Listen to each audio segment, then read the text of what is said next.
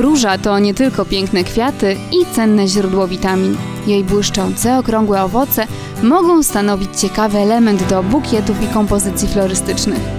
Oprócz owoców róży, o tej porze roku w ogrodzie możemy znaleźć wiele cennych dodatków, które wzbogacą wnętrza naszych domów.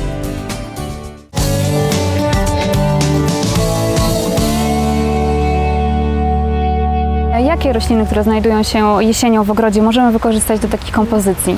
E, Wspaniale e, będzie, nada się wino bluszcz, bo oczywiście widać jakie piękne ma kolory. Jesienią się przebarwia. Od zieleni, żółci, czerwieni i oczywiście ma piękne owocostany. Może być też e, owoce dzikiej róży. Są też oczywiście od żółci po zieleń, po czerwienie. Są też bardzo Ozdobne, ozdobne. E, Mogą być też oczywiście dalie. Dalie też przypominają To nam takie piękne. jesienne kolory, tak? E, Żółć, czerwień, zieleń, takie ogniste, więc też bardzo jest e, dobra. No oczywiście hortensja też wcześniej była, też oczywiście się e, nadaje. E, w tej propozycji, którą dzisiaj chcę pokazać, potrzebne jest naczynie szklane. E, możemy też właśnie e, z, z tą gałązką e, dzikiej owoców dzikiej róży. Chciałabym pokazać, jak można łatwym sposobem zrobić fajną dekorację szybko. Wyginamy lub układamy tak, jak się układa nam e, delikatnie Zanurzamy to w wodzie. Tak, proszę sobie wziąć jakąś taką Mniejszą. mniejszą. Mhm. To może z tych. Następnie w szklanym naczyniu układamy delikatnie pędy winobluszcza. A w centralnej części kompozycji umieszczamy olbrzymią dalię, która stanowi główny akcent dekoracji.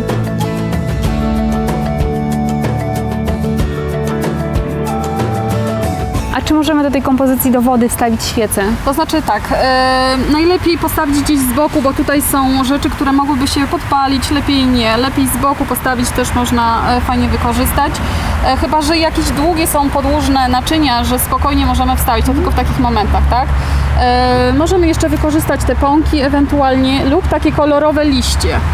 Na wierzch Typowo jesienne, tak, tak. Typowo jesienne, pięknie przebarwione na czerwono. E, można tak dosłownie rzucić jako akcent e, delikatny, gdzieś tam, żeby zaistniał czerwony kolor znowu.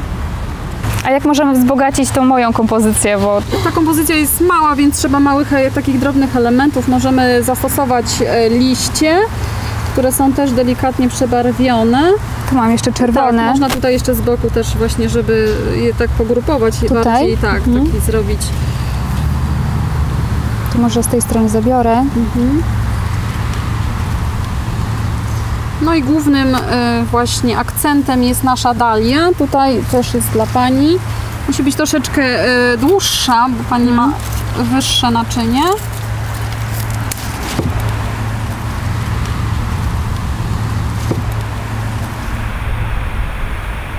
Tak, żeby też były widać te nasze skarby tutaj. O. Szklane naczynia z wodą i roślinami doskonale będą prezentować się na stole i komodzie.